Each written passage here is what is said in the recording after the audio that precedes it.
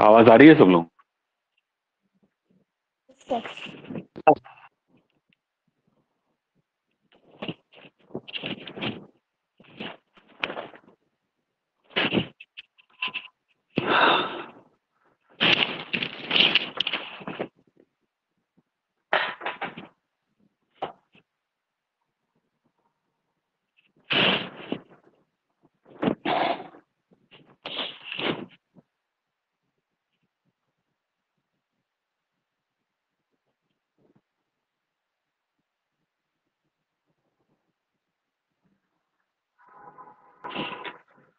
चलिए हम लोग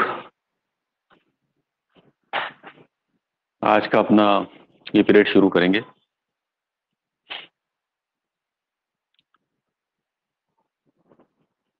सब लोग ज्वाइन कीजिए जल्दी जल्दी जरा।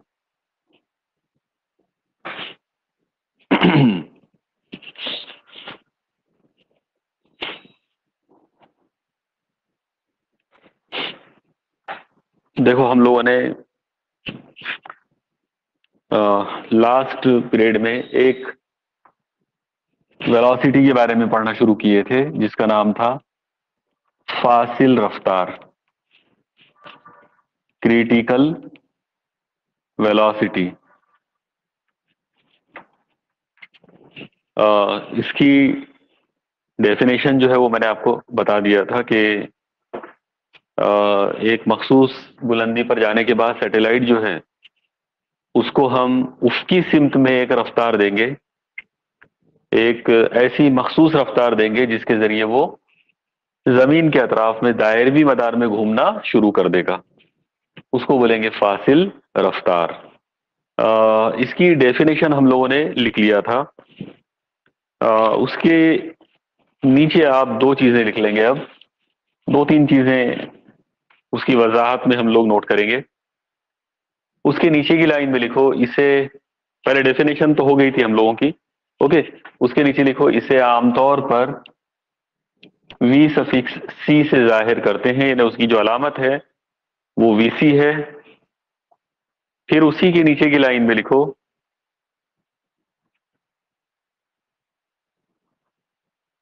फासिल रफ्तार का जबता दर्ज झैल होता है। फासिल रफ्तार का जबता, यानी उसका फॉर्मूला या फिक्रा दर्ज झैल होता है। उसके नीचे की लाइन में लिखो V C is equal to under root G into M E upon R plus H ये फॉर्मूला अभी डायरेक्ट नोट कर लो। इसका डेरिवेशन हम लोग अगले सवाल में करेंगे। Under root G into M E upon R plus H ये कीमत होती है मतलब ये फॉर्मूला होता है वीसी का। ओके उसकी के नीचे लिखो। अगर सैयारचा ज़मीन की सतह से करीब हो, अगर सैयारचा ज़मीन की सतह से करीब हो तो कॉमा दो और उसके नीचे की लाइन में लिखो H nearly equal to zero यानी अगर सैयारचा ज़मीन से नज़दीक होगा तो बुलंदी को हम लोग नहीं लेंगे। ओके? बुलंदी को नजरअंदाज कर देंगे तो एच की कीमत तकरीबन ज़ीरो ले लेंगे। अगर आपने एच की कीमत तकरीबन ज़ीरो ले ली है तो ये हो जाएगा V C equal to under root G into M E upon R क्योंकि एच जो है वो गायब हो गया। एच की कीमत तकरीबन ज़ीरो ले लिया हमने। तो V C is equal to आ गया under root G into M E upon R और अब आप एक चीज़ पे गौर करो, इसमें देखो जी एक कांस्टेंट है। ओके एम ई जो है वो एक कांस्टेंट है क्योंकि ज़मीन की कमियत बदलने वाली नहीं है। और आर जो है तो वो भी एक कांस्टेंट है, क्योंकि ज़मीन का रेडियस भी बदलने वाला नहीं है। तो अगर आप जी एम आर इन सब की वैल्यूज़ अगर इसमें ला रखते हैं, और फिर इसको सॉल्व करते हैं तो इसकी जो कीमत आपको मिलेगी, वो कीमत मिलेगी seven point ninety two nine two seven point nine two तमाम कीमतें रखने के बाद हल करने पर ये जवाब आएगा सेवन पॉइंट नाइन टू और इसकी यूनिट रहेगी किलोमीटर पर सेकंड 7.92 किलोमीटर पर सेकंड याद रखो 7.92 का मतलब है बहुत नज़दीक आठ के, यानी आठ, तकरीबन आठ है ये। तो आठ किलोमीटर एक सेकंड में, इतनी खतरनाक स्पीड होती है सैटेलाइट की, अगर सैटेलाइट ज़मीन से क्लोज है तो ज़मीन से नज़दीक अगर है तो। तो उस वक्त ज़मीन सैटेलाइट की जो स्पीड रहेगी, घूमने की रफ्तार, यानी ऑर्बिट के अंदर घूमने की जो रफ्तार है वो इतनी रहेगी तकरीबन आठ किलोमीटर एक सेकंड में। ओके? इतनी चीज़ें आपने फासिल रफ्तार के ताल्लुक से लिखना चाहिए। ओके? ये हो गया फासिल रफ्तार को लेकर। अब यहाँ पर आप याद रखो, एक रफ्तार और भी है। तो अगला सवाल हम उसी के बारे में करेंगे। बाद में हम डिटेल में करेंगे इन सबको, इन दोनों रफ्तारों को। देखो, एक रफ्तार, अभी जैसा आपने देखे, फासिल रफ्तार है। अब दूसरी जो रफ्तार है, उसका नाम है फरारी रफ्तार। तो अगला सवाल लिखो आप लोग इसी तरह का। अगला सवाल फरारी रफ्तार से क्या मुराद है? उसकी वजाहत कीजिए।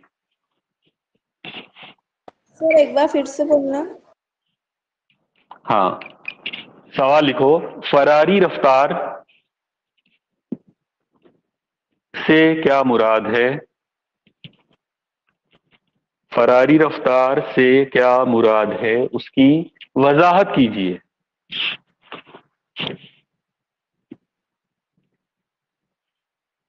ओके जवाब में हेडिंग डालो फरारी रफ्तार। स्केप वेलोसिटी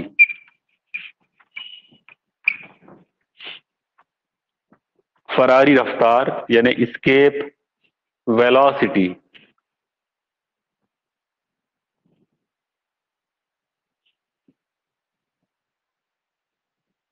ओके लिख लिया सबने?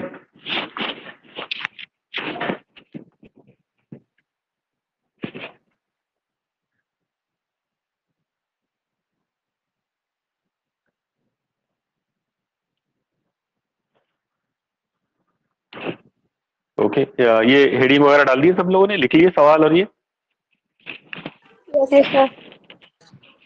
ओके चलो अब इस चीज़ को समझ लो। देखो बहुत ही आसान है। आपको सबको मालूम है, फरार जो वर्ड है स्केप उसका मतलब होता है कैद में से बाहर निकल जाना। ओके फरार का जो मीनिंग है वो कैद में से आज़ाद होना। उसके लिए वर्ड स्केप इस्तेमाल किया जाता है इंग्लिश में। अब यहाँ पर स्केप वेलोसिटी का क्या मतलब लेंगे? तो देखो, बहुत आसान सा मतलब है। सपोज़ करो कि ये हमारी ज़मीन है। ओके और ज़मीन के अतराफ में हम लोगों ने जैसा देखा था कि मान लो ये ज़मीन का ग्रेविटेशनल फ़ील्ड है।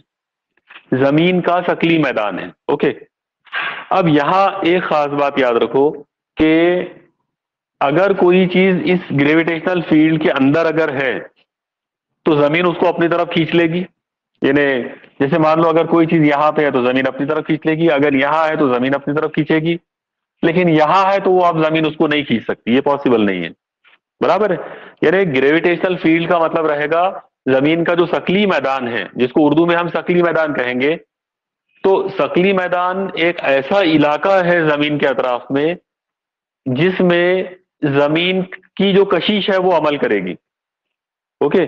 और ज़मीन की कशिश अमल करेगी, इस बात का मतलब यह है कि वो चीज़ ज़मीन की तरफ़ आ जाएगी, ज़मीन की तरफ़ कशिश करेगी, ज़मीन पर गिरेगी। ओके? तो यहाँ पर आप लोगों को अब इसमें क्या चीज़ इमेजिन करना है वो देखो।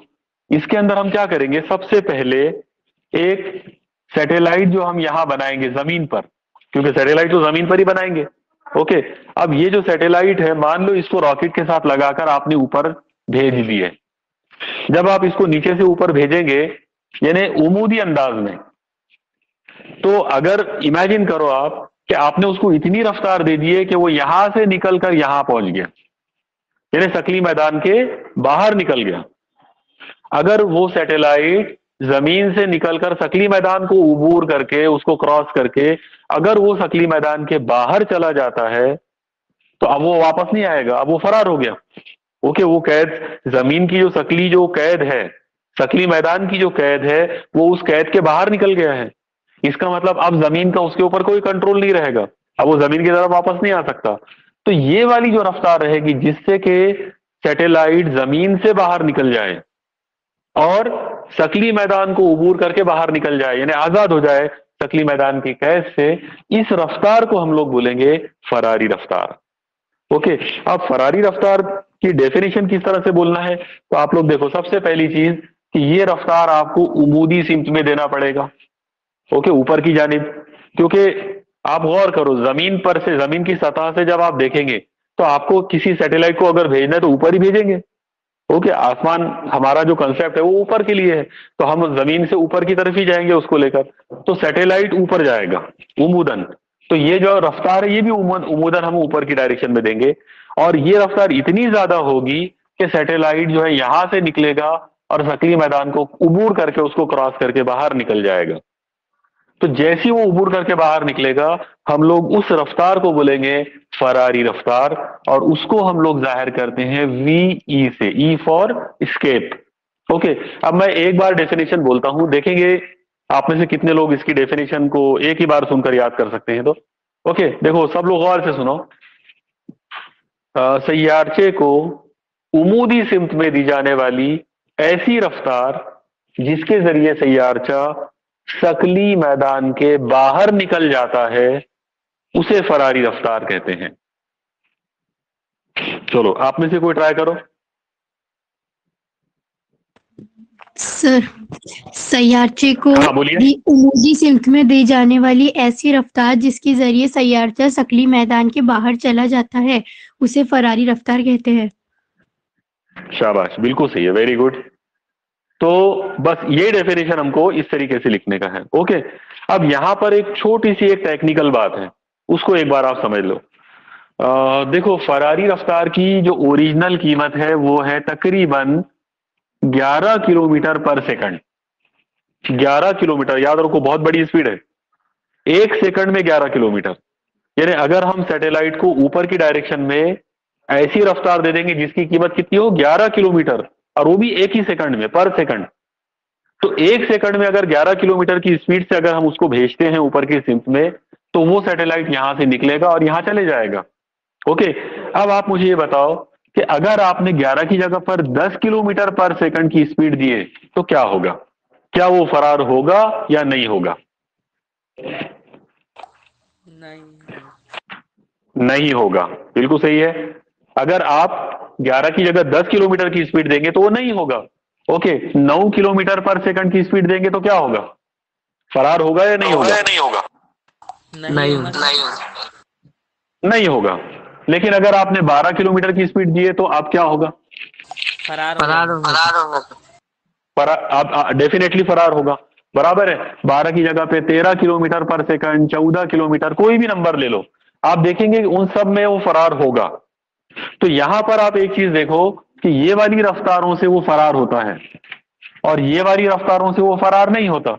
और हमको फरार कराना है उसको। यानी हम इस इस डेफिनेशन के अंदर हमको ये देखना है कि कौन सी स्पीड है जिससे वो फरार होता है। तो वो इससे भी फरार होता, इससे भी होता, इससे भी होता, इसके ऊपर की कोई भी कीमत से होता है। जिन रफ्तारों से वो फरार होता है, उनमें अगर आप गौर करेंगे इस नंबर पर 11 पर तो ये सबसे छोटा नंबर है। ओके आपको देखो, समझ, देखो, आप लोग चौदह से भी फरार हुआ, तेरह से भी हुआ, बारह से भी हुआ, ग्यारह से भी हुआ, लेकिन ग्यारह से छोटे पे नहीं हुआ। इसका मतलब ग्यारह जो है, वो सबसे छोटा नंबर है जिससे वो फरार होता है। ओके समझ में आया? तो यहाँ आपको ये ये टेक्निकल चीज़ ध्यान में रखना है कि ये जो फरारी रफ्तार जो होती है नंबर वन ये उमूदी सिमत में होती है, और नंबर टू ये कम से कम होती है मिनिमम ये कम से कम होती है जिससे कि वो फरार हो सकता है। इससे ज़्यादा रफ्तार देंगे तो भी डेफिनेटली फरार होगा। यानी ये कम से कम रफ्तार है जिससे कि वो फरार होगा। अगर आपने इससे ज़्यादा रफ्तार दी है तो ठीक है, कोई मसला नहीं है, वो आराम से फरार होगा। यानी फरार होना ही है। बारह से भी वो फरार होगा, तेरह से भी, चौदह से, पंद्रह से, कोई भी रफ्तार अगर आप देंगे तो वो फरार होगा। लेकिन ग्यारह का जो नंबर है, ये इन तमाम नंबरों में सबसे छोटा नंबर है। तो इसीलिए हम लोग यहाँ पर ये बोलेंगे कि फरारी रफ्तार सबसे छोटी रफ्तार होती है। ये सबसे छोटी कीमत होती है, कम से कम कीमत होती है, जिससे कि सैटेलाइट फरार हो सकता है। ओके तो अब मैं आपको ये जो तीन बातें मैंने जो आपको अभी बताया हूँ, इन तीन बातों को मैं मिक्स करके डेफिनेशन बताऊँगा यहाँ पर। देखो, सब लोग गौर से देखना। सबसे पहली बात मैंने बोला कि ये जो रफ्तार है, ये उमूदी सिमत में देंगे। दूसरी बात जो मैंने आपको बताया, वो ये है कि ये रफ्तार कम से कम रफ्तार होती है, यानी अकल तरीन रफ्तार होती है मिनिमम वेलोसिटी सबसे छोटी रफ्तार सबसे कम रफ्तार होती है ये कम से कम। और नंबर तीन, इस रफ्तार की वजह से सैटेलाइट जो है वो आज़ाद हो जाता है। अब ये जो तीन पॉइंट मैंने यहाँ लिखा हूँ, इन तीनों बातों को मिलाकर, इन तीनों बातों को मिक्स करके हम डेफिनेशन बनाएँगे तो वो जो डेफिनेशन होगी वो कंप्लीट होगी। ओके अब सब गौर से देखना। गौर से सुनो सब लोग। देखो डेफिनेशन इस तरह से बनेगी। सैयारचे को उमूदी सिमत में दी जाने वाली ऐसी कम से कम रफ्तार, जिसके ज़रिए वो शक्ली मैदान से आज़ाद हो जाता है, उसे फरारी रफ्तार कहते हैं। ओके? आप में से कोई बोलो।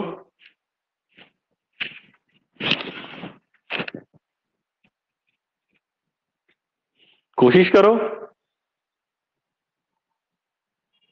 अच्छा एक बार एक बार और सुनो, सब लोग और से सुनो। ठीक है? एक बार फिर से मैं डेफिनेशन रिपीट करता हूँ। सैयारचे को उमूदी सिमत में दी जाने वाली ऐसी कम से कम रफ्तार, उमूदी सिमत में दी जाने वाली ऐसी कम से कम रफ्तार जिसके ज़रिए सैयारचा सकली मैदान के बाहर चला जाता है या सकली मैदान से फरार हो जाता है या सकली मैदान से आज़ाद हो जाता है उसे फरारी रफ्तार कहते हैं। ओके चलो अब अब आप ट्राई करो कोई।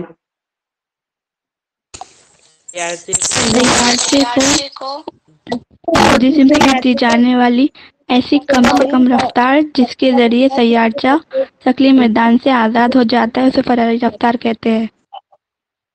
शाबाश बिल्कुल सही है वेरी गुड तो ये जो डेफिनेशन अभी आपने सुना है तीन चार लोगों ने एक साथ बोले हैं, लेकिन वेरी गुड बिल्कुल सही डेफिनेशन है। चलो हम ये लिख लेते हैं। तो हेडिंग डालो आप लोग पहले फरारी रफ्तार स्केप वेलोसिटी और अब उसके नीचे उसकी डेफिनेशन लिखो। सैयारचे को उमूदी सिमत में दी जाने वाली। सैयारचे को उमूदी सिमत में दी जाने वाली। ऐसी कम से कम रफ्तार। ऐसी कम से कम रफ्तार, जिसके ज़रिए वो, जिसके ज़रिए वो ज़मीन के सकली मैदान से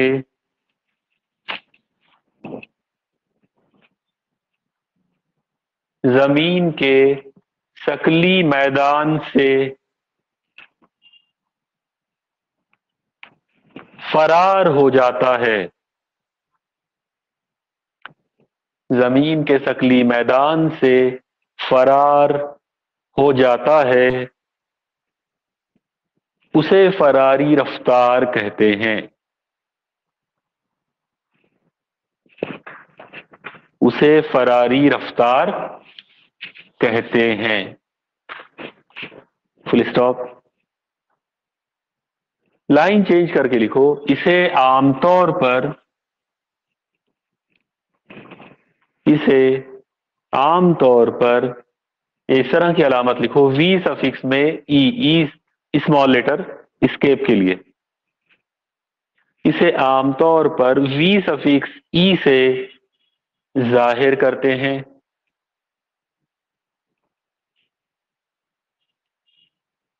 फुल स्टॉप फिर लाइन चेंज करके लिखो। ज़मीन की सतह पर फरारी रफ्तार का जाबता दर्ज झैल होता है। ज़मीन की सतह पर फरारी रफ्तार का जबता दर्ज झैल होता है। नीचे की लाइन में लिखेंगे, v suffix e is equal to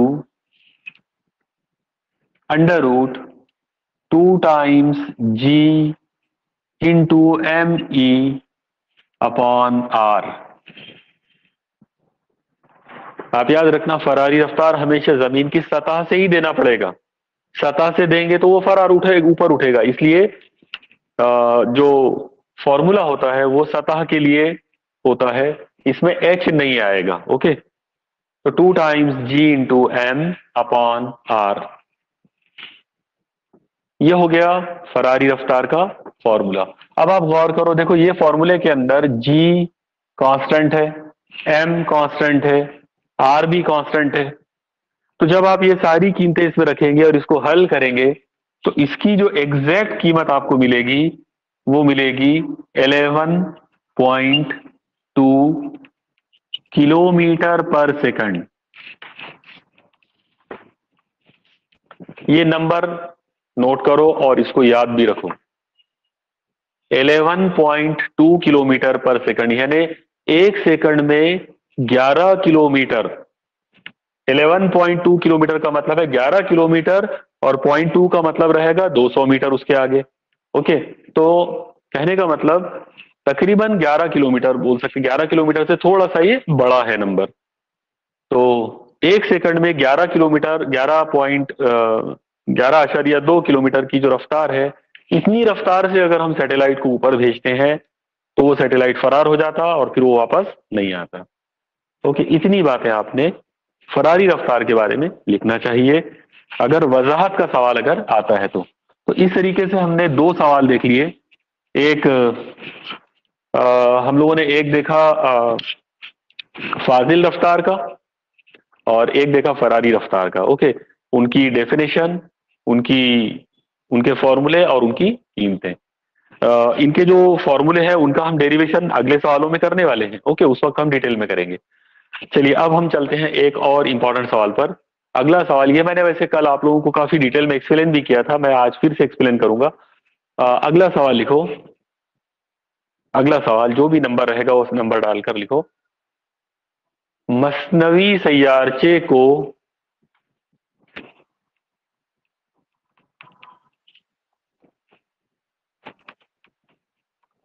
मसनवी सैयारचे को दागने। मसनवी सैयारचे को दागने। के अमल की वजाहत कीजिए। मसनवी सैयारचे को दागने के अमल की वजाहत कीजिए।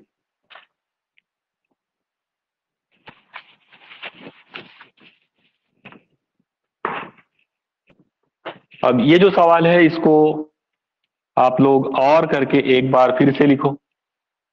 और या दूसरे तरीके से लिखो यही वाला सवाल।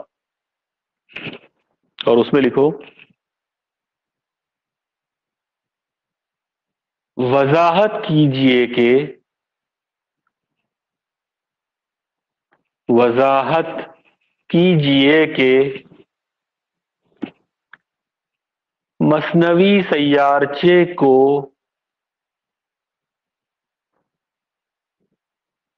मसनवी सैयारचे को दागने के लिए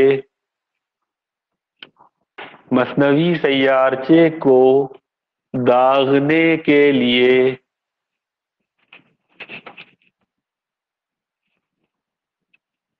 कम से कम कम से कम दो मरहलाई रॉकेट। कम से कम दो मरहलाई रॉकेट। लाजमी होता है। कम से कम दो मरहलाई रॉकेट। लाजमी होता है। अब ये सवाल यहाँ पर कंप्लीट हो गया ओके? आ, सवाल लिख लिए सब लोगों ने?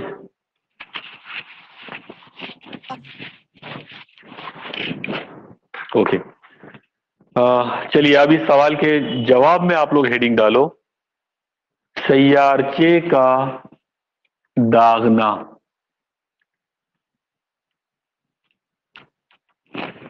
सैयारचे का दागना। इंग्लिश में इसको बोलेंगे projection of satellite. Projection of satellite.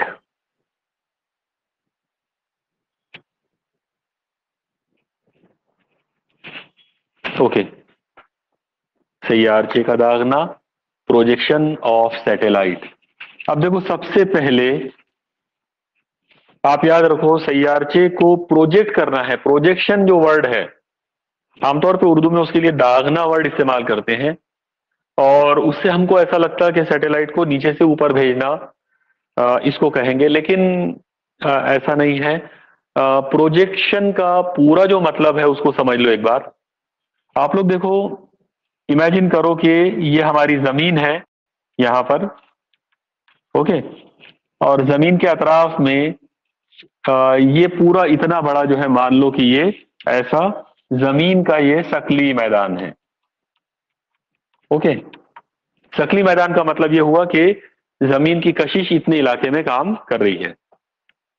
अब यहाँ पर आप याद रखना कि सैटेलाइट जो है, यानी जो जो हमारा आर्टिफिशियल सैटेलाइट मसनवी सैारचा जो होता है आ, हम लोगों ने कल के पीरियड में देखा था कि वो एक ऐसी मशीन होती है जिसको हम खुद बनाते और उसको हम लॉन्च करते उसको ऊपर भेजते।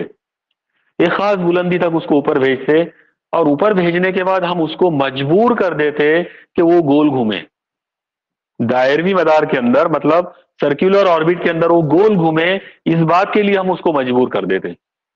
तो ये वाला जो पूरा अमल है, इसे कहते हैं प्रोजेक्शन प्रोजेक्शन का मतलब होता है सैटेलाइट को यहाँ से उठाना, यहाँ ज़मीन है, ये ज़मीन की सतह के ऊपर सैटेलाइट है। तो ज़मीन की सतह से उठाना, उसको एक खास बुलंदी तक पहुंचाना और फिर उस करना कि वो ज़मीन के अतराफ में ऐसा गोल घूमना शुरू कर दे। ओके? ये वाला जो पूरा जो प्रोसेस है, पूरा जो अमल है, इसे कहते हैं प्रोजेक्शन ऑफ़ सैटेलाइट सैटेलाइट का, दागना सैटेलाइट को लॉन्च करना ओके तो डेफिनेशन हम क्या बोलेंगे इसको? इसकी डेफिनेशन इस तरह से आएगी कि सैार मसनवी सैारचे को ज़मीन की सतह से उठाकर एक मखसूस बुलंदी तक पहुंचाना और फिर उसे दायरवी मदार में गर्दिश करने के लिए मजबूर कर देना। दायरवी मदार में गर्दिश करने के लिए उसको मजबूर कर देना या उसको दायरवी मदार में गर्दिश करवाना उससे, इस अमल को प्रोजेक्शन ऑफ़ सैटेलाइट कहते हैं। ओके तो ये डेफिनेशन आपको ऐसे ही लिखना है, जैसे मैंने अभी आपको समझाया। इस अंदाज में आप अपने अल्फाज में उसको लिख सकते हैं, ओके। डेफिनेशन क्या होगी? किसी भी मसनवी सैारचे को ज़मीन की सतह से उठाकर मखसूस बुलंदी तक पहुंचाना, और फिर उसे दायरवी मदार में घूमने के लिए मजबूर कर देना, इस अमल को सैारचे का दागना या प्रोजेक्शन ऑफ़ सैटेलाइट कहते हैं। ओके ये आप लोग नोट कर लो। अब डिटेल में आप इसको एक बार फिर से समझ लो ये पूरी बात, यानी ये रियल में होती कैसे है? कैसे हम लोग उसको ज़मीन की सतह से उठाते हैं और फिर उसको मजबूर कर, कैसे करते हैं दायरी मदार के लिए? देखो, सब लोग गौर से देखना इधर। हम क्या करेंगे? यहाँ पर याद रखो, जब किसी चीज़ को एक जगह से दूसरी जगह अगर पहुंचाना होता है तो उसके लिए हम लोग गाड़ी का इस्तेमाल करते हैं। बराबर है, गाड़ी जिसे इंग्लिश में व्हीकल कहते हैं। तो गाड़ी का, यानी व्हीकल का हम इस्तेमाल करेंगे किसी चीज़ को एक जगह से दूसरी जगह पहुँचाने के लिए। अब यहाँ पर मामला यह है कि सैटेलाइट हमारे पास एक चीज़ है ओके सैटेलाइट एक चीज़ है, एक मशीन है। और हमको इसको भेजना है ऊपर तो हम क्या करेंगे? उसको भेजने के लिए जो गाड़ी हम यहाँ इस्तेमाल करेंगे, जिस व्हीकल का हम इस्तेमाल करेंगे, वो व्हीकल होता है जिसे हम आम जबान में रॉकेट कहते हैं। ओके तो मान लो कि ये रॉकेट है। ये ज़मीन के ऊपर हमने क्या करे? एक रॉकेट जो है वो तैयार करे। एक रॉकेट को इस तरह से उमूदी अंदाज में उसको खड़ा कर दिए। याद रखो, इस रॉकेट का ये जो ऊपरी सिरा है यहाँ पर सैटेलाइट को अटैच किया जाता है। यानी रॉकेट के ऊपरी हिस्से में। रॉकेट जहाँ पर होता है रॉकेट जो रहेगा तो रॉकेट का जो ऊपरी हिस्सा होता है वहाँ पर हम सैटेलाइट को लगा के रखेंगे। ठीक है? अब इसके बाद हम क्या करेंगे कि ये जो रॉकेट है इसको स्टार्ट करेंगे। आ, वो जो कंट्रोल रूम के अंदर जो लोग इसके बैठे रहते हैं जो इसके एक्सपर्ट होते हैं जो साइंटिस्ट होते हैं तो वो लोग जो है वो इसको स्टार्ट करेंगे। और फिर जैसे ही स्टार्ट करेंगे, एक ऐसा पॉइंट आएगा जब इसको इग्नाइट किया जाएगा। इग्नाइट करेंगे मतलब इसको धमाका करेंगे इसकी ईंधन में नीचे। इसके नीचे यहाँ पर फ्यूल होता है, ईंधन होता है। और फिर उसमें एक धमाका होगा और उस धमाके की वजह से ये रॉकेट ऊपर उठेगा। ओके तो याद रखना कि इस रॉकेट को नीचे से ऊपर एक पर्टिकुलर बुलंदी तक पहुँचाया जाएगा। नीचे से ऊपर पहुँचाने का ये इसका पहला मरहला है। इसको हम लोग बोलेंगे फ़र्स्ट स्टेज पहला मरहला। यानी रॉकेट के अंदर दो मरहले होते हैं और उसमें से पहला मरहला ये वाला है जिसके अंदर रॉकेट सीधा ऊपर जाएगा। ओके, अब आप गौर करो। मैंने अभी थोड़ी देर पहले आपको पढ़ाया था कि एक फरारी रफ्तार होती है। अभी हमने थोड़ी देर पहले पढ़े थे कि एक फरारी रफ्तार, एक ऐसी रफ्तार होती है जो हम ऊपर की सिमत में देते और अगर मान लो आपने किसी जिस्म को फरारी रफ्तार दे दिए, किसी जिस्म को अगर फरारी रफ्तार दे दिए उमूरी सिमत में तो वो ज़मीन से उठेगा और सकली मैदान के बाहर फरार हो जाएगा। बराबर है? तो यहाँ मैं एक सवाल आपसे करता हूँ, क्या इस रॉकेट को हम फरारी रफ्तार देंगे या फरारी रफ्तार से कम रफ्तार देंगे? या फरारी रफ्तार से ज़्यादा रफ्तार देंगे। क्या ख्याल है आप लोगों का? फरारी रफ्तार से कम देंगे। फरारी रफ्तार ओके। से कम नहीं। ओके देखो दो बॉयज़ ने जवाब दिए हैं वेरी गुड दो लड़कों का जवाब आया है कि फरारी रफ्तार से कम रफ्तार देंगे। ओके okay, आप में से आ, ये जो ये जो जवाब है ये बिल्कुल करेक्ट जवाब है। ओके फरारी रफ्तार से कम रफ्तार देंगे। आप में से कोई मुझे बता सकता है क्यों कम देंगे? सर क्योंकि ज़्यादा देंगे तो ऊपर चले जाएँगे थकली का शीश- थकली मैदान से। वो सकली मैदान के बाहर न जाए। हाँ वेरी गुड शाबाश। अब देखो अब लड़के लड़कियों के सबके तरफ़ से जवाब आया। बिल्कुल सही है। अगर गलती से भी हमने इसको फरारी रफ्तार दे दी है आप सोचो इस बारे में। अगर आपने ये रॉकेट को अच्छा रॉकेट और सैटेलाइट ये कोई मामूली नहीं होता है, ये करोड़ों अरबों रुपये लगते हैं उसको बनाने में। ये पूरा जो मामला होता है, ये करोड़ों और अरबों रुपयों का खर्चा होता है इसके ऊपर बनाने में और इसको लॉन्च करने के लिए। तो इतना ज़्यादा जो हम खर्चा कर रहे हैं, इसके बाद अगर गलती से आपने अगर रॉकेट को फरारी रफ्तार दे दिए, या फरारी रफ्तार से भी ज़्यादा रफ्तार दे दिए तो वो यहाँ से निकलेगा और वो यहाँ पहुँच जाएगा। और अब आप गौर करो, अगर वो सकली मैदान के बाहर चला गया तो फिर वो हमारे किस काम का? यानी वो ज़मीन को ज़मीन के कंट्रोल के बाहर ही चला गया है। अब अगर वो ज़मीन के कंट्रोल के बाहर है तो इसका मतलब वो ज़मीन के अतराफ नहीं घूमेगा। वो यहाँ से निकल जाएगा किसी और के इलाके में चले जाएगा कोई दूसरा दूसरा सैयारा रहेगा कोई दूसरा प्लेनेट होगा जिसके सकली मैदान के अंदर वो चले जाएगा तो वो उसके काम में आएगा। लेकिन वो अप, ये ज़मीन के लिए तो काम में नहीं आ सकता। ओके इसलिए आप लोगों ने जो जवाब दिया बिल्कुल परफेक्ट है। तो याद रखो, जब आप रॉकेट को ऊपर की सिम में रफ्तार देते हैं तो उसको फरारी रफ्तार कभी नहीं देते। ओके, सबसे मज़ेदार बात यही है कि फरारी रफ्तार उसको नहीं देंगे, हम फरारी रफ्तार से कम रफ्तार देंगे। अब फरारी रफ्तार से कम रफ्तार जब हम उसको देंगे तो डेफिनेटली वो यहाँ से उठेगा और वो सकली मैदान के बाहर नहीं जाएगा, बल्कि वो सकली मैदान के अंदर ही रहेगा, काफ़ी बुलंदी पे जाएगा, बहुत ऊंचाई पर। एग्जैक्टली exactly कितनी बुलंदियों तक जाएगा तो वो भी हम पढ़ने वाले हैं अभी। ओके बहुत इंटरेस्टिंग है सब ये। कितनी बुलंदी देने वाले हैं वो भी आएगा। ठीक है? तो एक बहुत ही खास बुलंदी तक हम उसको पहुंचाएँगे। लेकिन हम कोशिश कर, हम इस बात का ध्यान रखेंगे कि वो फरार नहीं होना चाहिए। ओके तो हम उसको यहाँ नहीं भेजेंगे, बल्कि हम क्या करेंगे? उसको यहाँ भेजेंगे, यहाँ तक, इस जगह तक। अब ये रॉकेट यहाँ आ गया। जब रॉकेट एक खास बुलंदी तक पहुँच जाएगा तो वहाँ पहुँचने के बाद उसका पहला मरहला पूरा हो गया। ओके आप याद रखना, अगर आप रॉकेट वगैरह पर बनी हुई हिंदी जो फ़िल्में होती हैं, जैसे एक फ़िल्म आई थी मिशन मंगल उसके अलावा भी और बहुत सारी फ़िल्में हैं, और बहुत सारे टीवी न्यूज़ वगैरह में या प्रोग्राम्स में भी आप देख सकते हैं। आप याद रखना, जब रॉकेट ऐसे ऊपर जाता है तो उसके टुकड़े होते जाते हैं। उसके जो अलग अलग जो स्टेजेस होते हैं, वो स्टेजेस उसमें से निक- टूट कर ऐसे निकल जाते, अलग निकल जाते और बचा हुआ पार्ट आगे जाता है। तो यहाँ पर भी वैसे ही होगा। यहाँ पर ये होगा कि ये रॉकेट जब यहाँ पहुँच जाएगा तो उसका जो पहला मरहला है, उमूदी सिम्त वाला वो मरहला पूरा हो गया तो वो टूट जाएगा। वो उतना मरहला टूट कर निकल जाएगा और वो बाहर नीचे आ जाएगा। यानी पहली स्टेज उसकी पूरी हो गई। अब सेकंड स्टेज के अंदर क्या करेंगे वो देखो। सेकंड स्टेज के अंदर हम क्या करेंगे कि ये जो रॉकेट है, इसको 90 डिग्री का टर्न देंगे। इसको रोटेट करेंगे। 90 डिग्री से टर्न कर देंगे। अब जैसे आप इसको 90 डिग्री से टर्न करोगे, ये रॉकेट ऐसा हो जाएगा, इस तरह से। बराबर जो पहले ऐसा खड़ा था, वो ऐसा आड़ा हो गया। अब आड़ा होने के बाद, यानी ये वाली तरतीब लेने के बाद, उसकी तरतीब, इस तरतीब में आने के बाद, अब हम क्या करेंगे कि उस सैटेलाइट को ये वाली डायरेक्शन में, उसकी सिम्त में धक्का देंगे। उसकी सिम्त में आड़ी सिम्त के अंदर उसको एक धक्का देंगे एक कुवत लगाएँगे एक तरह की रफ्तार उसको देंगे। और इधर रफ्तार देने के बाद हमारा ये वाला जो मरहला है सेकंड वाला जो मरहला है उसकी मरहला ये भी पूरा हो जाएगा। यानी सेकंड मरहला यहाँ पर कंप्लीट हो जाएगा और सैटेलाइट को अलग करके हम इधर लोड देंगे और बाद में बच, बचा हुआ जो सैटेलाइट है ब- बचा हुआ जो रॉकेट है वो वापस आ जाएगा। ओके रॉकेट को वापस बुला लेंगे। अब आप गौर करो अब मैं यहाँ पे ये रॉकेट को हटाकर बात करता हूँ। मतलब रॉकेट का जो काम था वो पूरा हो गया। ये सैटेलाइट है। हमने उसको यहाँ तक पहुँचाया। वो यहाँ आ गया। यहाँ आने के बाद हमने उसको इधर लोड दिए। बराबर है?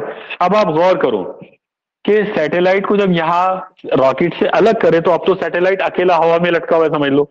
बराबर है? अब तो रॉकेट के साथ तो जुड़ा हुआ नहीं है। रॉकेट तो वापस आ गया। ये जो सैटेलाइट है, ये सकली मैदान के अंदर है। और क्योंकि ये सकली मैदान के अंदर है, इसका मतलब ज़मीन का जो सकली कुवत है, वो उसको नीचे खींच रही है। बराबर है, ज़मीन उसको नीचे की डायरेक्शन में बुला रही है, ज़मीन कशिश कर रही है उसको नीचे तो वो नीचे गिरने की कोशिश करेगा। लेकिन हमने उसको इधर लौटे हैं, जब हमने उसको इधर कुवत लगा दिए तो वो इधर जाने की कोशिश करेगा। तो अब आप एक चीज़ पे गौर करो कि इस सैटेलाइट पर दो लोग अमल कर रहे हैं।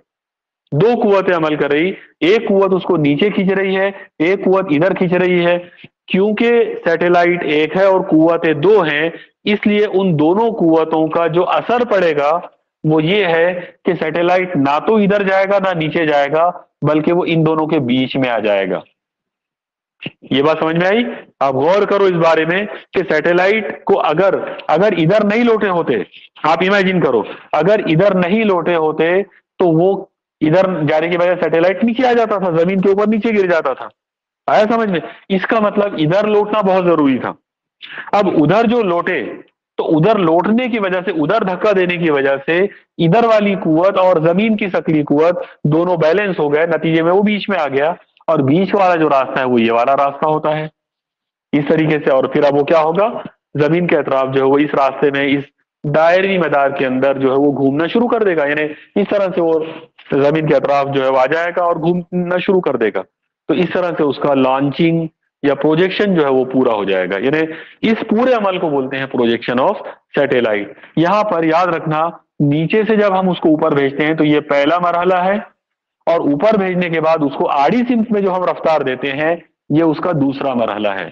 तो इसका मतलब ये हुआ कि रॉकेट जो है, वो हमेशा दो मरहले वाला रॉकेट चाहिए।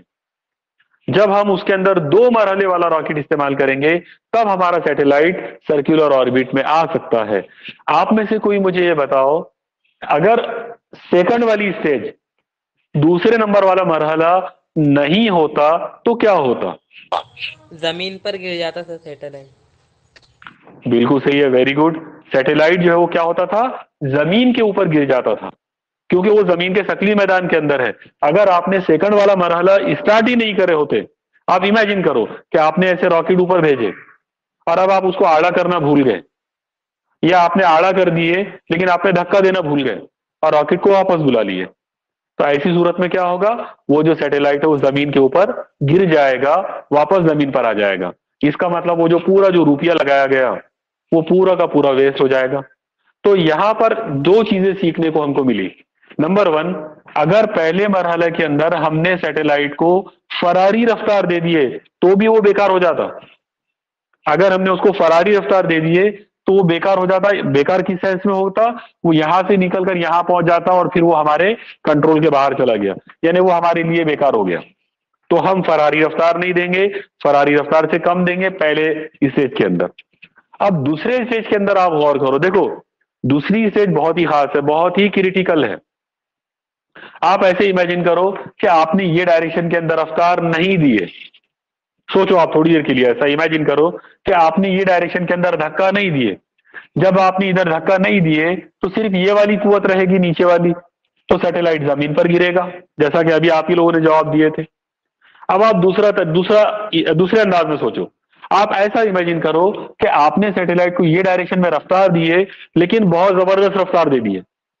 बहुत जोरदार लोड दिया उसको, बहुत ताकत से लोड दिए एकदम। खतरनाक स्पीड दे दिए।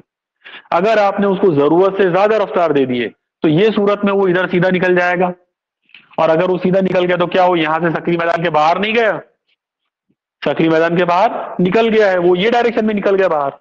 आपने इतनी कुत दे दी उसको ये डायरेक्शन के अंदर, उसकी सिप में, कि वो ये डायरेक्शन में सीधा चला गया तो वो तो अभी भी बेकार हो गया। इसका मतलब ये हुआ कि आप इस सैटेलाइट को बहुत छोटा सा भी धक्का नहीं दे सकते। अगर आपने उसको छोटा सा धक्का दिए, छोटा सा धक्का देंगे तो ये ऐसा नीचे आएगा, ज़मीन पे गिरेगा।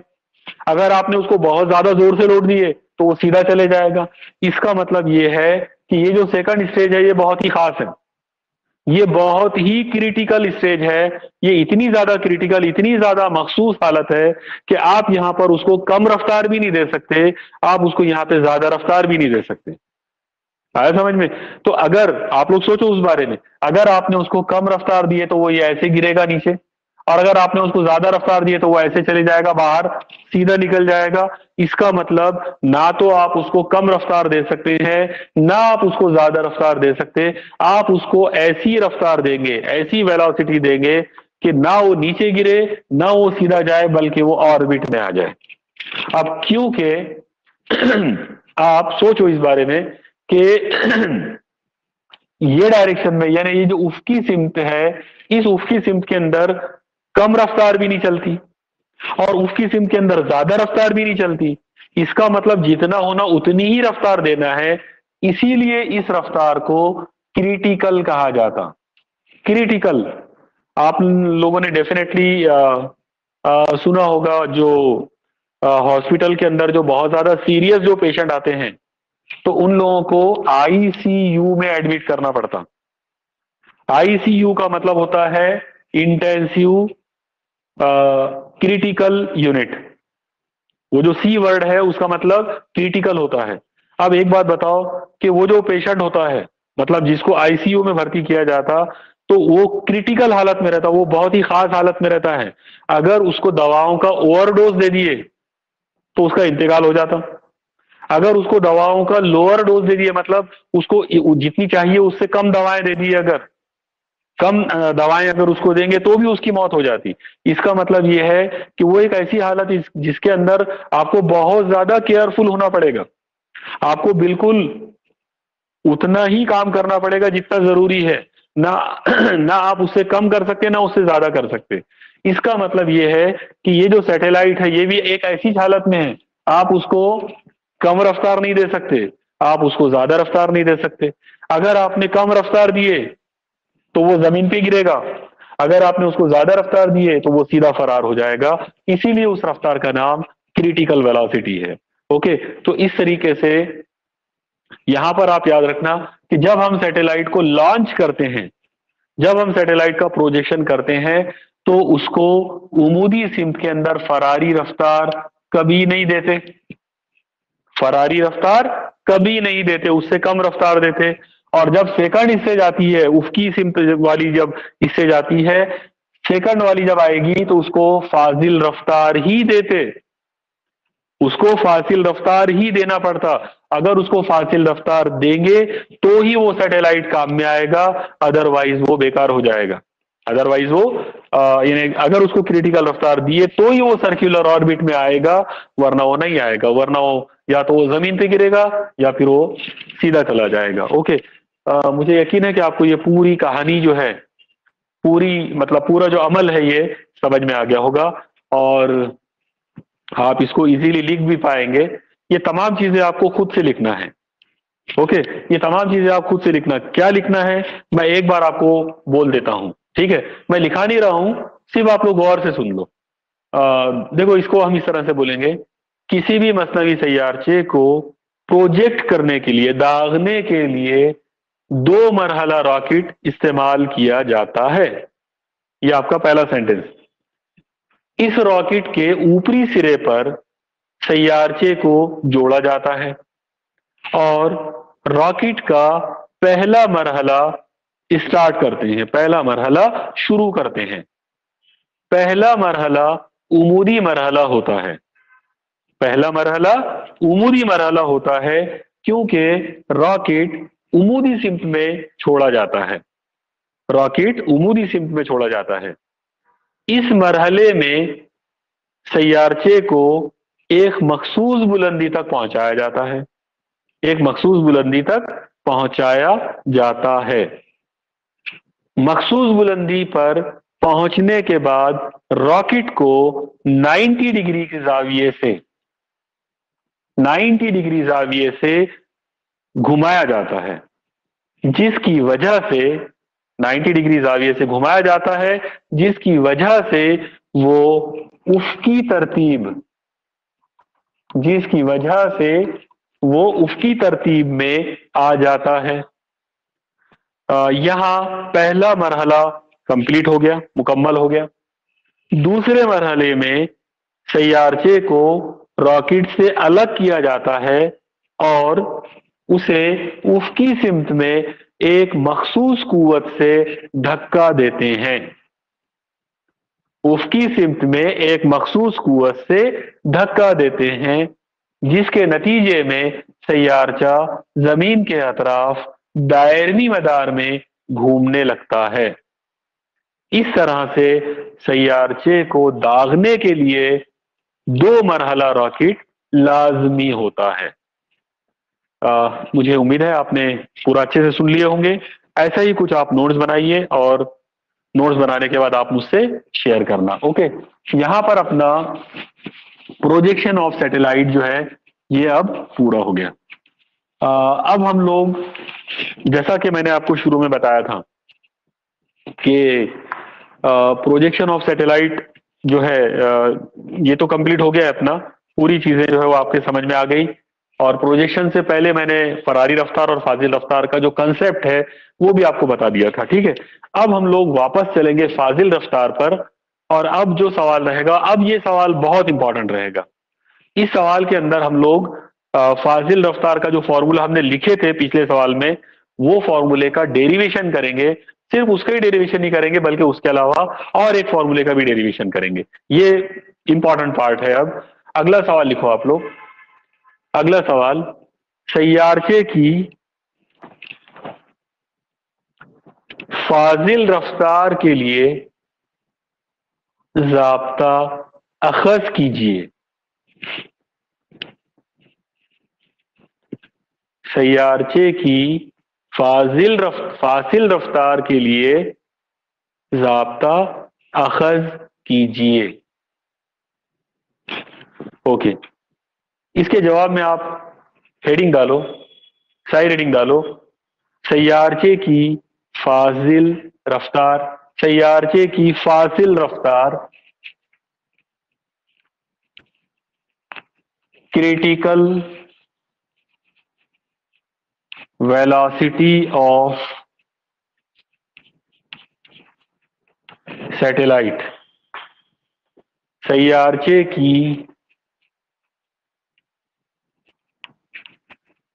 सैयारचे की फासिल रफ्तार।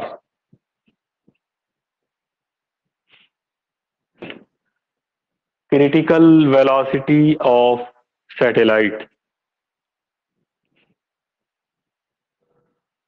okay अब इसके लिए हम लोग सबसे पहले इसका एक फिगर हमको बनाना पड़ेगा। फिगर बनाने के लिए आप लोग प्रकार पेंसिल वगैरह निकाल लो। ओके प्रकार और पेंसिल में आप लोग कम से कम पाँच सेंटीमीटर का फासला लो और पाँच सेंटीमीटर का फासला लेने के बाद एक ऐसा दायरा बना लो, डैश वाला दायरा। इस तरह से। एक डैश वाला दायरा आपको बनाना है। पाँच सेंटीमीटर का फासला लेकर, पाँच सेंटीमीटर का निष्पुत्र लेकर आप एक ऐसी फिगर का मतलब एक दायरा जो है, आप डैश वाला दायरा बना लो। ओके अब आप एक काम करो प्रकार की नोक और पेंसिल की नोक के दरमियान दो सेंटीमीटर का गैप लो। ओके अभी पाँच सेंटीमीटर के लिए ये डैश वाला दायरा बना लिए। अब आप दो सेंटीमीटर का फासला लो। और उसी मरकज पर, यानी जो मरकज था, मान लो कि ये मरकज था तो इसी पर प्रकार की नोक रखो और इस मरतबा आप लोग एक सॉलिड दायरा बना लो।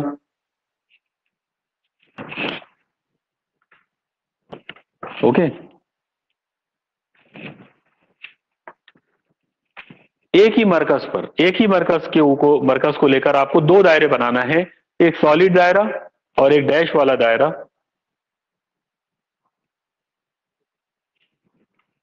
ओके अब आप एक काम करेंगे, यहाँ से ज़मीन का जो मरकज है सी है मान लो, यहाँ से आप एक ऐसी सीधी लाइन ड्रॉ करो ऊपर तक, और इस जगह पर आप एक इस तरह का सैटेलाइट बना दो। सैटेलाइट मतलब एक आपको ऐसा छोटा सा एक डॉट बनाना है। एक छोटा सा सर्कल बना लो सॉलिड यहाँ लिख के भी रखो सैटेलाइट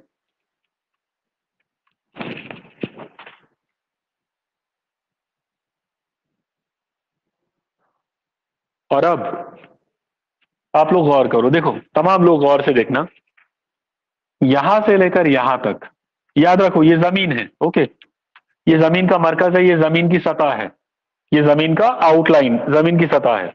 मरकज से लेकर सतह तक का फासला होगा कैपिटल आर, यानी ज़मीन का निष्पुत्र और ज़मीन की सतह से लेकर यहाँ तक ये होगी बुलंदी, यानी एच आप याद रखना, जब हम बुलंदी को गिनते हैं, सैटेलाइट की बुलंदी कहाँ से गिनेंगे? तो ज़मीन की सतह से। ज़मीन के मरकज से लेकर सतह तक ज़मीन का निष्पुत्र होता है और ज़मीन की सतह से सैटेलाइट तक ये उसकी हाइट रहेगी, ये उसकी बुलंदी रहेगी। ओके तो ऐसा बना लो आप पहले इतना। तो इतना रेडियस और ये उसकी बुलंदी। और अब आप गौर करो, यहाँ से लेकर यहाँ तक, ये जो टोटल फासला है, मरकज से लेकर सैटेलाइट तक ये फासला रहेगा स्मॉल आर, यानी इस दायरी मदार का निष्पुत्र, और डेफिनेटली इसकी कीमत होगी capital R plus H okay कैसे आर प्लस एच होगी? आप देखकर ही समझ सकते आप देखो, ये आर है, और ये एच है तो यहाँ से लेकर यहाँ तक टोटल करोगे तो आर प्लस एच आर में एच मिला दिए। आर प्लस एच जो है, वो स्मॉल आर होगा, यानी उस दायरवी मदार का रेडियस ओके और अब आपको सबसे खास चीज़ बताना है इसके अंदर। आप देखो सैटेलाइट को जब हम बुलंदी पे लेके जाते तो बुलंदी पर जाने के बाद हमको उसको उफकी रफ्तार देना है। उफकी सिमत में रफ्तार देंगे। तो उफकी सिमत में रफ्तार देंगे मतलब ये डायरेक्शन के अंदर रफ्तार देंगे ऐसे। तो यहाँ आप एक ऐसा टेंजेंट बनाओ, एक ममाज तैयार करो, ऐसा एक एरो बनाएँगे और इस पर आप लिख के रखेंगे वी सी यानी जो फरारी सॉरी जो फासिल रफ्तार है, वो एक्चुअली आपकी उसकी रफ्तार है ऐसे टेंजेंशियल एक ममासी रफ्तार है। ममास की सिमत में देंगे ऐसे आड़ी सिमत में उसकी सिमत में। तो वो फासिल रफ्तार हो गई। और इस रफ्तार देने की वजह से सैटेलाइट ऐसे घूमेगा। इस मदार के अंदर ये इस तरीके से जाएगा, ऐसे घूमता जाएगा। इस तरह से घूमेगा, ऐसे एरो लगा दो उसके अंदर आप अलग अलग जगहों पर। क्योंकि आपने उसको ये डायरेक्शन में लौटा था इसलिए सैटेलाइट ऐसा जाएगा ये डायरेक्शन के अंदर ऐसे यहाँ से ऐसा और इस तरह से उसका सर्कल घूम होता रहेगा पूरा। अब हमारी ये फिगर जो है ये कंप्लीट हो गई है। ओके तो सब लोगों ने फिगर बना लिया है बराबर?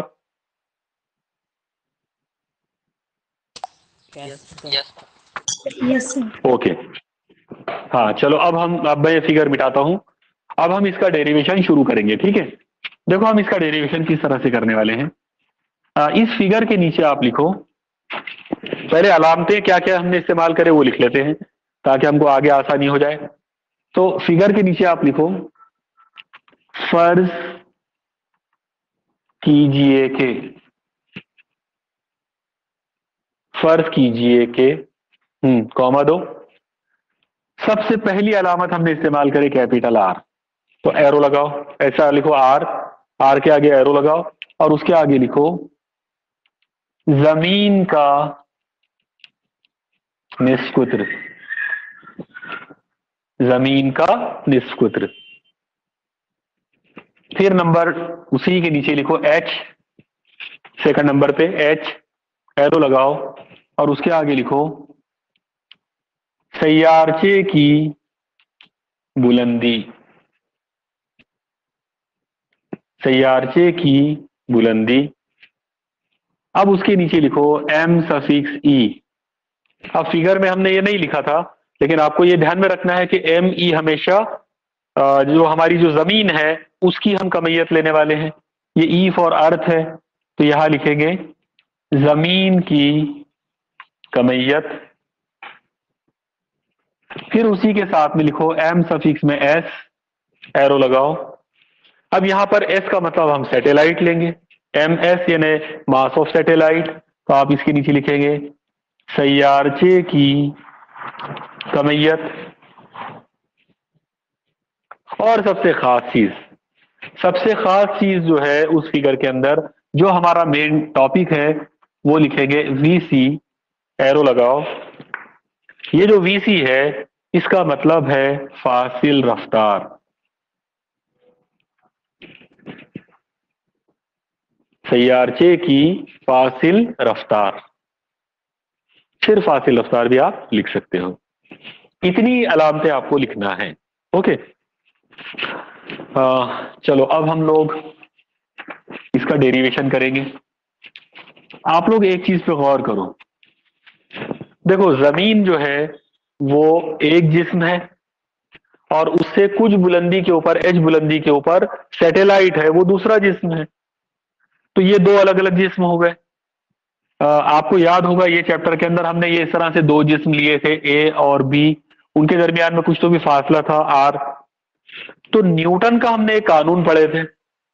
न्यूटन के कानून के मुताबिक इन दोनों जिस्मों के दरमियान एक सकली कुवत होती है, एक ग्रेविटेशनल फोर्स होती है, और वो ग्रेविटेशनल फोर्स का फॉर्मूला था G into M one into M two upon R square इसका मास एम वन था, इसका मास एम टू था।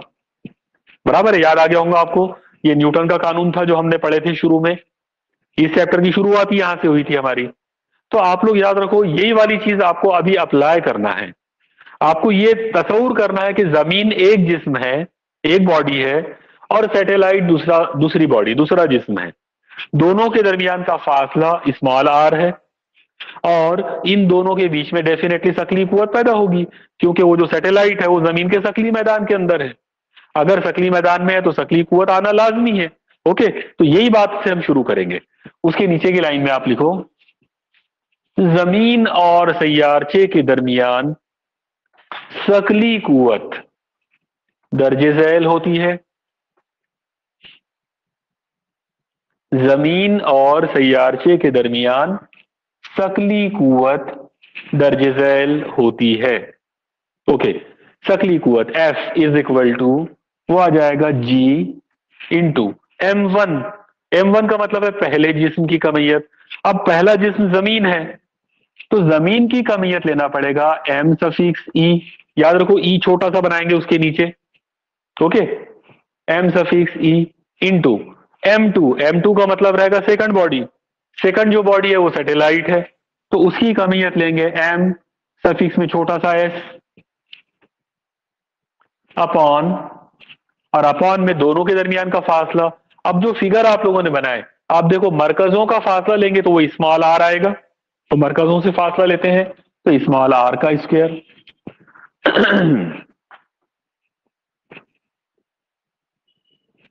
G into M E into M S upon R square, इसको इक्वेशन नंबर वन दे दो।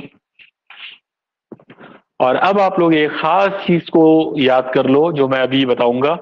आप याद रखना, जब कोई जिस्म दायरवी हरकत करता है, जब भी कोई जिस्म गोल घूमता है, दायरवी हरकत करता है, तब उस पर एक बहुत ही खास कुवत अमल करती जिसका नाम होता है मरकज जो कुवत। उसका नाम है मरकज, जो कुत यानी मरकज की जानब अमल करने वाली कुत वो जो मरकज जो कुत है, उसको एफ़ सी बोलते हैं, अलामत उसकी। और उसका फॉर्मूला होता है M into V square upon R ये फॉर्मूला रखना पड़ेगा आपको अभी। वैसे हम इसको क्लियर कर लेंगे जब हम दायरवी हरकत और रोटेशनल डायनामिक्स का जो चैप्टर है, जब हम उसको पढ़ेंगे तो उस वक्त ये पूरा डिटेल आ जा, आपको समझ में आ जाएगा। ओके अब आप याद रखना सैटेलाइट रुका हुआ नहीं है, बल्कि दायरवी हरकत में है। और वो दायरवी हरकत में है, इसलिए ये वाली कुत उस पर अमल करेगी और कुत M into V square upon R होगी। ये फॉर्मूले से हम उसका फॉर्मूला बनाएँगे। ओके चलो देखो इसको किस तरह से लिखने का है। उसके नीचे एक जुमला लिखो आप लोग। सैयार चा, दायरवी हरकत में है। इसीलिए उस पर, इसीलिए उस पर मरकज जू कुत अमल करती है। इसीलिए उस पर मरकज जो कुवत अमल करती है। जिसकी कीमत दर्ज झैल होती है। जिसकी कीमत दर्ज झैल होती है। F C is equal to अभी मैंने फॉर्मूला बताया था M V square upon R M M का मतलब है जिस्म की कमियत। अब जो जिस्म यहाँ पर हमने लिए वो सैटेलाइट है, क्योंकि दायरवी मदार के अंदर ज़मीन नहीं है, बल्कि सैटेलाइट है। तो हमको यहाँ पर एम का मतलब एम एस लेना पड़ेगा इन टू वी का स्क्वायर यहाँ जो वी है, वो फासिल रफ्तार है, इसलिए उसको लेना पड़ेगा वी सी तो वी सी का स्क्वायर अपॉन दायरी मदार का जो रेडियस है, वो आर है तो R M S into V C square upon R equation number two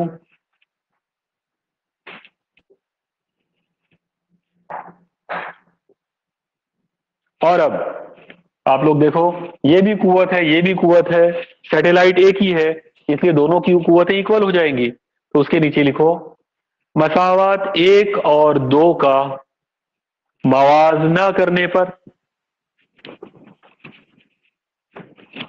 मसावत एक और दो का मवाजना करने पर दोनों को इक्वेट करो, दोनों को कंपेयर करो। देखो क्या हो सकता है। ये ऐसा हो जाएगा। M S into V C का square upon R is equal to capital G into M E into M S upon R square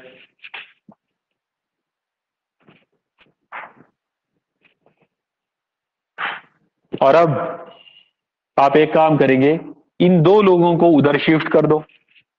ये दो लोग यहाँ पे जरब में हैं। उधर जाएँगे तो ये उल्टे हो जाएँगे। इसका मतलब इधर बचेगा वीसी का square is equal to G into M E into M S upon R square okay ये उधर वाले लोग। और ये दोनों जब उधर जाएँगे तो उल्टे हो जाएँगे। तो ये हो जाएगा जरब आर अपॉन एम एस इधर हमने वीसी के स्क्वायर को छोड़ दिए, इसको छोड़कर उधर भेज दिए बाकी, बाहर। और अब, आगे। आप देखो ये आर सी आर का स्क्र कट जाता, ये एम एस सी ये एम एस कट जाता, जो बच गया है उसको लिख लो। जो बच गया है वो ये है। वी सी का square is equal to G into M E upon R R का स्क्र कट गया है आर से। अकेला आर बचेगा।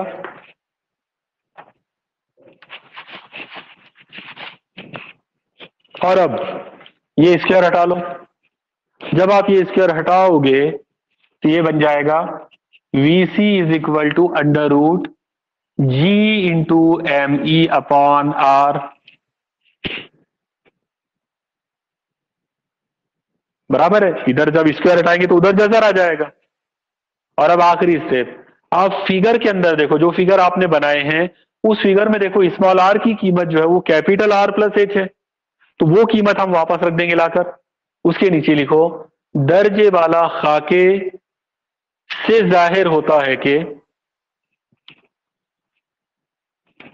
दर्जे वाला खाके से ज़ाहिर होता है कि कॉमा दो और उसके नीचे लिखो small R is equal to R plus H therefore VC is equal to यानी स्मॉल आर की जगह पर जब ये कीमत आप लेंगे तो वीसी का फॉर्मूला बनेगा under root G into M E upon capital R plus H इसको पैक करो। VC is equal to under root G into M E upon R plus H तो इस तरीके से ये हमारा फाजिल रफ्तार जो है, उसका फॉर्मूला जो है, उसका डेरिवेशन यहाँ पर कंप्लीट हो गया। इसके नीचे आप एक जुमला लिख लो कि ये जबता फासिल रफ्तार को ज़ाहिर करता है। ओके। चलिए, अब यहाँ पर हमारा वक्त हो गया है कंप्लीट और ये आर्टिकल भी पूरा हो गया है। इंशाल्लाह अगले लेक्चर में हम लोग इसके आगे वाला जो पार्ट है वो कंटिन्यू करेंगे। अल्लाह हाफिज।